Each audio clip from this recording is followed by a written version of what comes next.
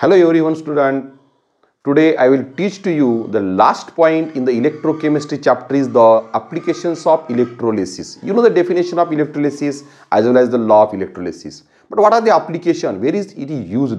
In your syllabus, the applications of electrolysis given only two. Only two applications given. The first applications of electrolysis is the electroplating and second is the electrorefining.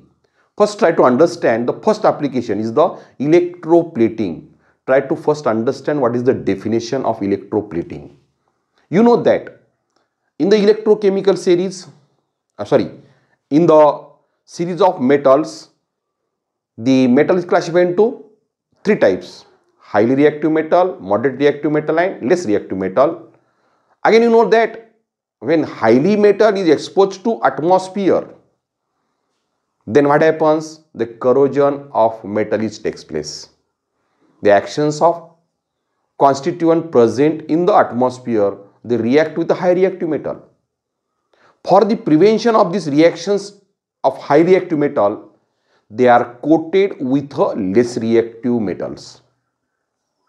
The process is called as electroplating. What is electroplating? The high the surface of high reactive metal is coated with less reactive metal by electrolysis process. The process is known as the electroplating process. I understand? Generally silver ornaments gold ornaments 1 gram jewelry ornaments is manufactured by the electroplating process. First try to understand how you carry out the electroplating process.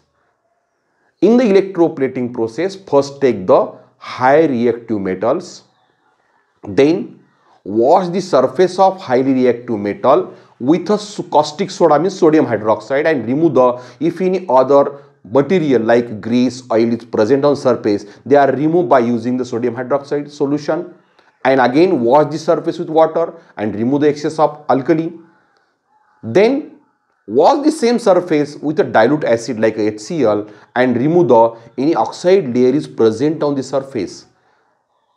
Again wash with clean water and make the high reactive metal surface clean and connect this clean high reactive metal to the cathode means negative terminal of battery and which less reactive metal is coated on the surface they are connected to the positive terminal battery this is a very important point. Which is important point?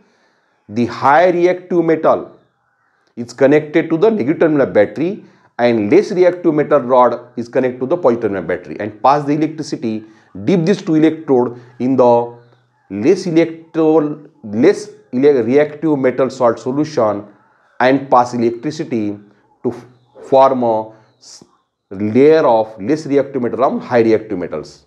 We get a, the silver coated or gold coated articles.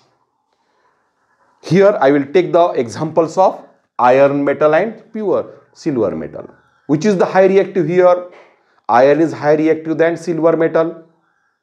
Therefore, wash this iron surface of iron metal with sodium hydroxide, then water, then acid and then again wash the surface of iron spoon water and clean the surface of iron spoon.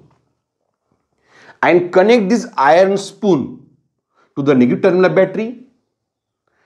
And take the less reactive metal silver rod is or plate is taken and connect it to the positive terminal battery. Dip this spoon and silver pure silver rod in the salt silver salt solution. Here I will take the potassium argentocyanide aqueous solution. Dip this two rod and pass the electricity through this solution. Then what happens at first stage the water is electrolyzed and to form a hydrogen ion and hydroxide ion. Then silver salt which is the silver salt here potassium argentocyanide is ionized and it form a potassium iodine argentocyanide ions this argentocyanide further ionized and to form a silver ions and cyanide ion in the solution. At a specific voltage, at low voltage, this pure silver rod, that is the anode, gives the silver ion by losing the electron in the solution. At cathode, what happens? Here, silver rod acts as a, sorry, acts as an anode. At anode, what happens? The silver gives the silver rod or plate gives the silver ion in the solution and gives the electron. Means which reaction takes place here? Oxidation reaction takes place. Therefore, silver rod acts as anode. These loses electron accepted by the cathode at cathode what happens you know that here silver sword gives the silver ion as well as silver rod also gives the silver ion these positive charged ion attracted towards the negative terminal of battery means the towards the cathode and at the cathode or at the iron spoon the silver ion accept electron and silver solid is deposited means what happens here? Reduction takes place. Therefore, here iron rod acts as a cathode. And slowly, this on the surface of iron spoon, the shiny layers of silver is formed, thin layer of silver is formed on the surface of iron spoon. But remember one important point in this solution, three types of positive ion is formed. Hydrogen ion, potassium ion, silver ion only silver ion is attracted towards the negative that is cathode why this potassium ion and hydrogen ion is not attracted towards the cathode? Remember important point. Potassium is highly reactive metal. Hydrogen also highly reactive. Due to the high reactivity for the deposition of this ion it requires the high voltage. At low voltage, only silver ion is deposited or attracted towards the cathode and potassium ion and hydrogen ion remains in the, as it is in the solutions. I don't understand. Oh, what is the purpose of this electroplating?